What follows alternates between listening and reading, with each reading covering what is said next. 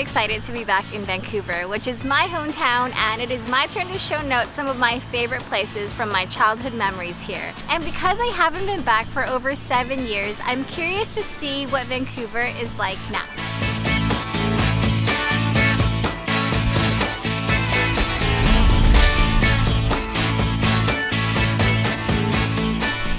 I'm taking you to the most beautiful beach in Vancouver. Kitsilano Beach. But it is nothing like the beaches we have in Samui. So it's not quite like a white sand beach with really warm weather. It's a little bit gray and grainy, but it's Hey. the most beautiful beach. I think it looks pretty nice. It's nice enough for us to take off our shoes and walk on the yeah, I sand. think we should. I miss the beach. I miss not wearing shoes. Oh, that's nice. The sand is so soft actually Hmm. Isn't it nice to be back? It is. I used to come here a lot with my family. But my family is not really beach people, so I remember coming to Kits to rollerblade, to to bike, to play tennis. Not so much enjoy the beach and enjoy the ocean. I like it here. If I were to live here, I would come here quite often. And what's on the other side of the island? You can see um, where all the trees are. Yeah. That is Stanley Park. And then across from us is West Vancouver. And there's like even a ski hill you see right at the top. Mhm. I think that is, that might be Cypress. That's where I learned how to snowboard.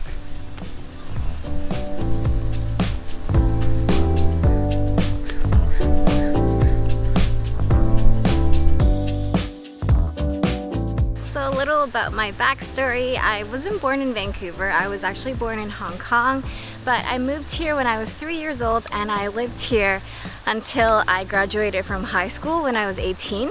That's when I left and went to Hong Kong and went to Australia where I met Note. But coming back here, after not living here for 16 years, I still think Vancouver is so beautiful and so laid back and is definitely my vibe for a Canadian city. But unfortunately, the prices are so expensive now. There is no way for us to really like move back and live here. And plus we do love Thailand a lot, but it's always nice Yeah. to come back and visit. I agree with you. If we were to have to come back to Canada Mm-hmm. and choose a place to live, Vancouver would be the place. Really? Yeah. He didn't used to like it. I brought you here when we were living in Calgary together. We uh, drove here for a road trip a couple times, and you're like, "It's so win- it's so gloomy, it's so rainy. I don't like it. I like Calgary." Now that I'm older, I appreciate the weather, Mm-hmm. the, the space that we have, and all the delicious food that Vancouver has to offer. Yeah, it It's has so diverse. it has a really good selection Yeah. of multicultural foods for sure. So I didn't bring you to Kitsilano to enjoy the day. I actually brought you here because we are going to take the False Creek ferries over to Granville Island, which I know was your favorite spot last time we were here. So let's go there for lunch.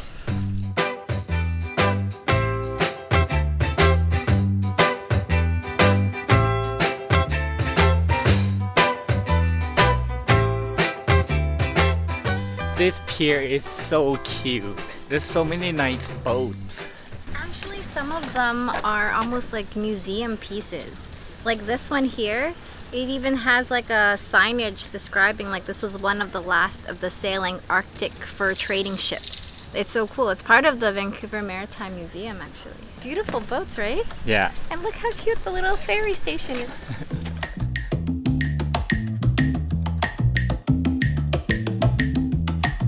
I, and I'm not very good at uh, card tricks, but let's see how we do here.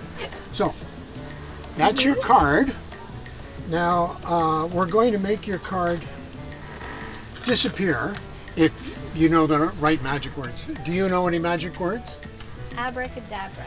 Abracadabra is a good magic word. My mother used to say please was a magic word, Oh, but, okay. but I'll, I'll use abracadabra. And instead of just losing your card, I thought we'd lose them all. What? Gee, I forgot to wear sleeves. Oh, where did they go? It's called magic, folks. Oh! What? he already showed me a penny and it disappeared. And now the cards disappeared. It's magic. That was Very good. good, Thank you. very Thank you for showing us that. wow, this ferry is so cute. So we just hop on? We'll pay later? So we got our day pass, which is $18 per person. Waiting for some change, and it's gonna get us to a lot of places. We'll go to Granville Island first, and thank you. And afterwards, we'll take the ferry to go a little tour down to where Science World is.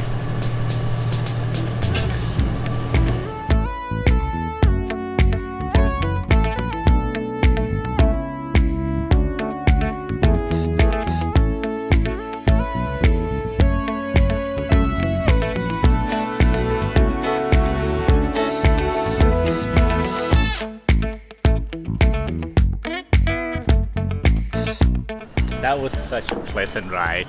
So easy, and so quick, and so lovely. Now we are here at Granville Island.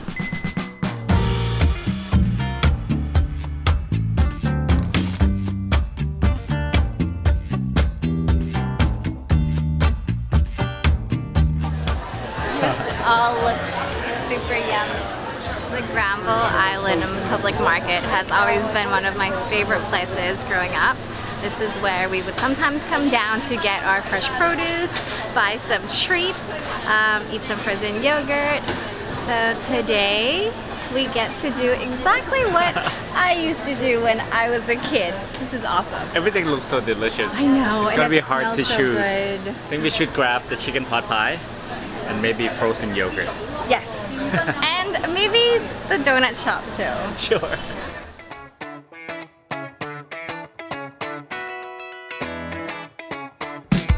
There's a table over there. Go, go, go, go, go, go. Nice. Okay, you can stay on this side. Look at this. It looks so delicious. You're gonna break it? I'm gonna break it. Go for it. Oh wow. Don't you miss this? I do. This is like comfort food. It's really just like almost like a soup with a puff pastry on top, but somehow like it's very, very comforting. I don't think I had chicken pot pie before. No. And I wouldn't make chicken pot pie for you as well because you don't like dairy.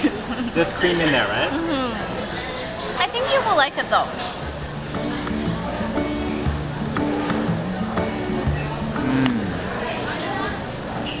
No, that's delicious. like it? Yeah. Oh wow. Extra delicious with the bread. It's like clam chowder but with chicken. You can get it with clam chowder. You can? Yeah, but I like the chicken and mushrooms. Oh wow. Mm-hmm. I'm glad you like it. That's amazing.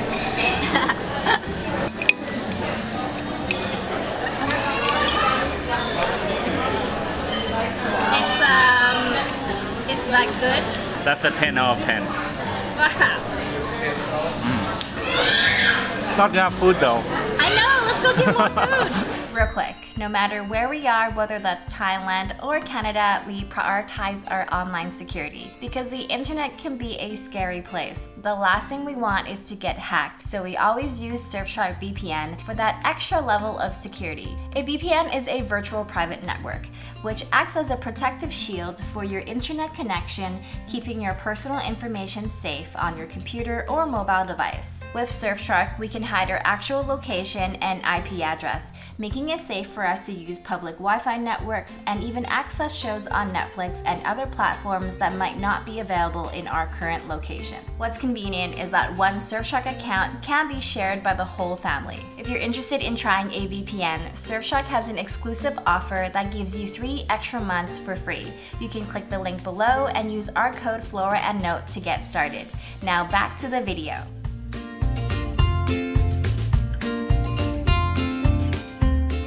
Look at all the berries. They so look colorful. So big. Do you see this? This is my thumb. That is humongous. Even those strawberries over there look so nice. I want to try this. How much is it? $14.99 a pound. A box. Oh, a box. B is a box. $15 a box. We're here. Let's try it. Is it fifteen dollars a box or a pound? A pound. So how much is it? So it's 30 32 dollars. Oh. okay. Is that too No, much? that's okay. That's way too much. Because I saw a bee, I thought it's a Yeah, I also saw it. I thought it was a box. That is quite expensive. Okay, that looks delicious though, but not thirty-two dollars delicious. I have an idea. Instead of blueberries, let's just get blueberry frozen yogurt. Yeah.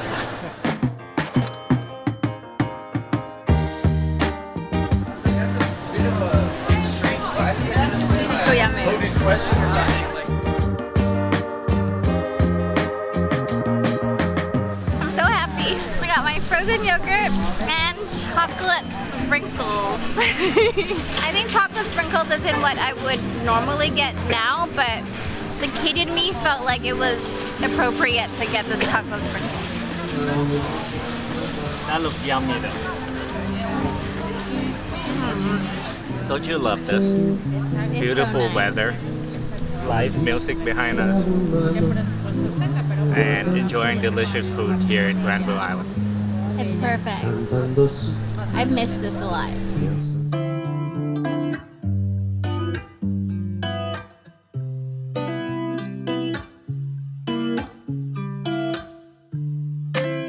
So there's so much more than just a public market here at Granville Island. There are tons of really nice restaurants and also art galleries, um, artisan shops, the most famous is probably the Granville Island Brewery, which you can go in and take a tour and have beer samples as well. Another one of my favorites though is the kids market. I just love walking through that tiny entrance and going in to play games and buy candy and stuff. You know what? If we were to have enough time here, I would love to go on one of the fishing charters. Yeah, I've never done that before. And there's also whale watching tours as well. We saw people coming back from that. They were wearing these thick jackets because it's probably quite cold Mhm. out there. See, that would be fun too. Or you know, you can get a water bike for $35. I don't know, it looks very depressing. Yeah, that's, I don't, I think that might have been just a gimmicky thing.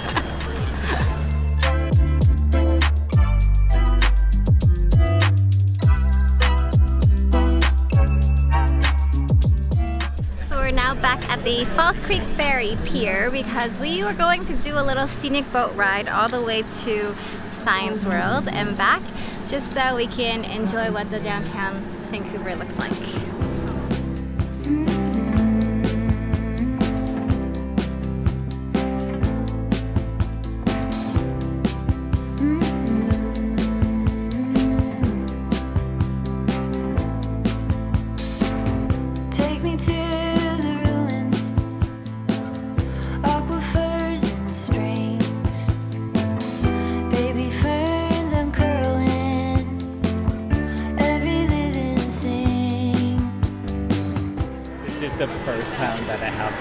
Line up to get into a night market.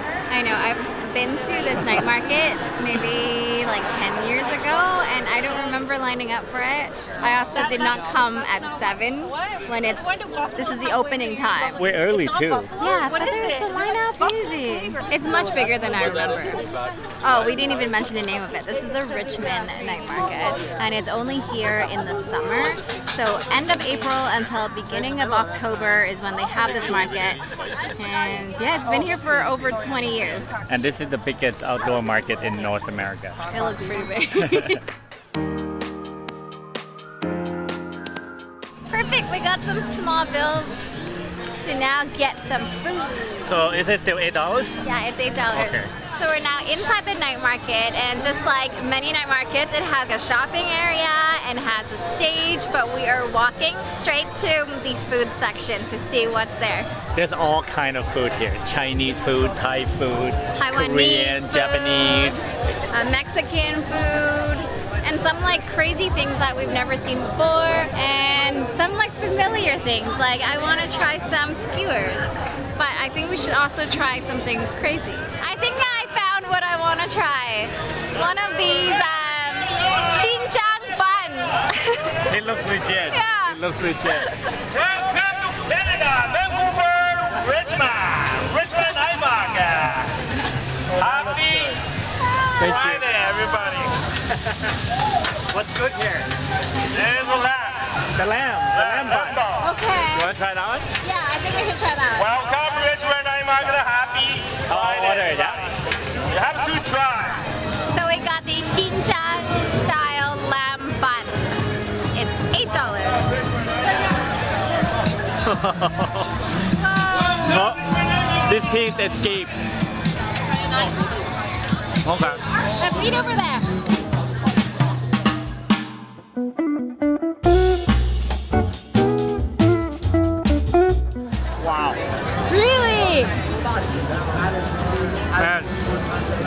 One of the best lamb I ever had. the steamed bun is so good. It's kind of crispy on the outside and soft on the inside. You will love this. It's really tasty. I wouldn't even give this a 5 out of 5. The spices, the cilantro, the lamb is so tender. The bun, oh You're leaving the final bite for me? I wasn't going to. Do you want it? Let's uh, half half. Of course I want it. Mm. Uh, good call. Good call. Next. Oh, what is that? That looks good. Sushi taco. Never seen that before. Vancouver has really good Japanese food because we are right on the uh, coastline of the Pacific Ocean. But yeah, I think this is like a new creation. I'm excited to try. Look at the size of this thing. So inside it's just spicy tuna topped with white sesame and black sesame and some spring onion. There's rice in there, and the shell And is like a deep fried seaweed. seaweed. This is so creative. You can go first this time. I was hoping you'd say that.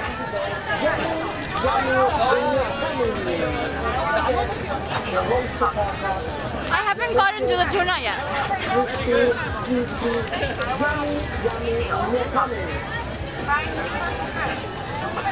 Mm, no, it's really yummy. The seaweed works as the taco shell. It does. It's almost like, you know, like deep fried sushi. It's kind of like that. Oh. But like a different construction of it. But it's really, really good.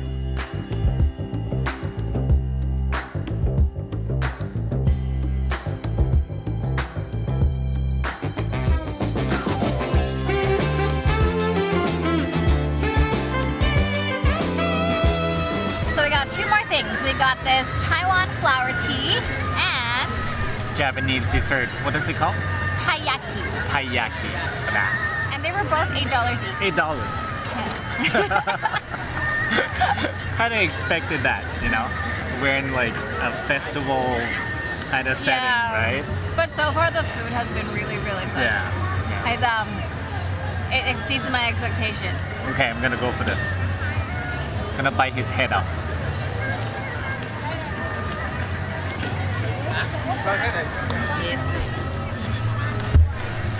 Wow.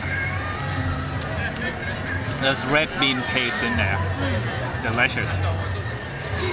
Oh, Right? it's so fluffy. Mm. This is a Japanese dessert. Mm. I wonder if it tastes better in Japan.